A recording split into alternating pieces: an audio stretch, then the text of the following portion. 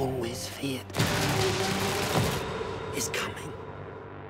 It's coming. And the blood will be on your hands. Hey, of course, we all know that you were injured on the set. You like to do your own stunts. That's not true. I was never injured on the set. And I was never. What happened that to was the ankle? Just false. There was just nothing. That was just not true.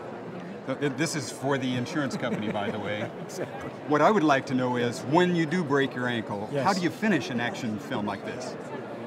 Well, you, when you break your ankle, you make sure you get over the wall so you don't have to do the shot again, and then you just recover as fast as you can and, and just go and have at it, finish it. Do you still remember how to make a red eye from cocktail?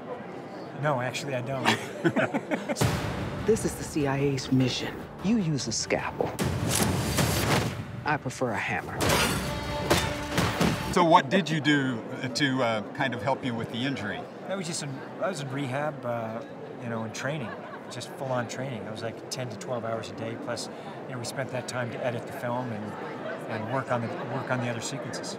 Did it change any of the other stunts, that the post-injury stunts? No, no, no, no. You do But it every no time when what. you see me running, my ankle's still broken. I was back at work in six weeks, and I was running, sprinting in nine weeks, and we shot those scenes in 11 weeks into it. So that was not pleasant, but we did it. Turn left! Go, go, go, go! What are you waiting for? I'm jumping out a window!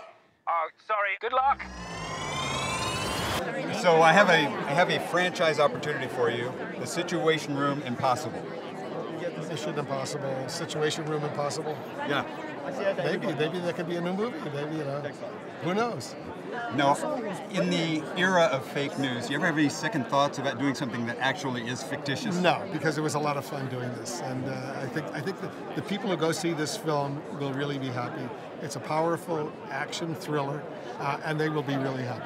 So you think I got a future in this business? No question about it. Great, thanks.